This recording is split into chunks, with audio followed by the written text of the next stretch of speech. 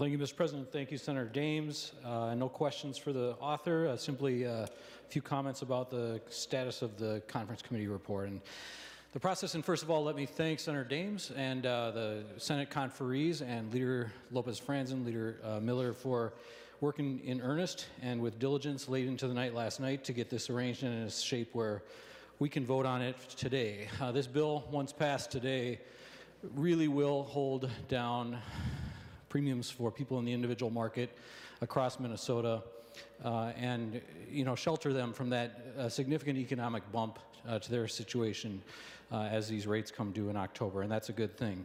The two provisions surrounding policy that were brought forward by the House are good and will directly improve the lives of my patients. Uh, so I'm grateful for those as well.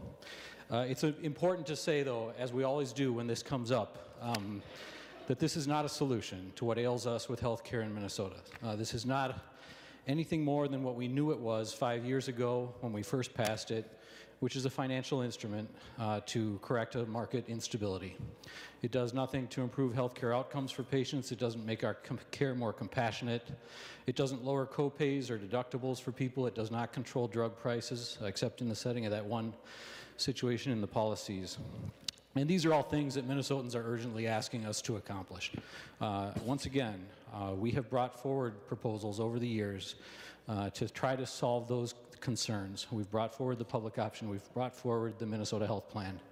Uh, this year, understanding that our Republican colleagues are not receptive to those proposals, uh, we brought forward uh, proposal for tax credits to accomplish direct relief of premiums as well as copays and deductibles for Minnesotans. These are things that people are demanding and we should work actively during the three years that we are paying for this reinsurance to accomplish those ends. Um, there are alternate delivery uh, and incentive models out there, such as value-based care, and I hope we spend our time diligently looking at those as well. Uh, I will be voting for the bill today because it's the right thing to do for copays uh, and deductibles. Excuse me, it's the right thing to do for premiums for Minnesotans.